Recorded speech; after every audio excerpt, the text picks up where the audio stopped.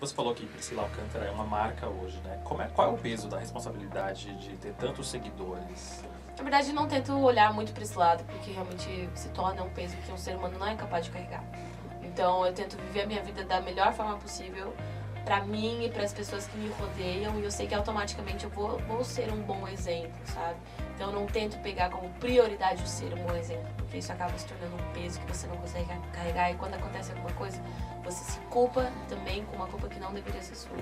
Então eu tento ser um bom ser humano primeiramente para minha família, uma boa filha para os meus pais, uma boa irmã para minha irmã, e eu sei que se eu tiver êxito nessas coisas básicas, eu vou ser uma boa referência para as milhões de pessoas que me seguem.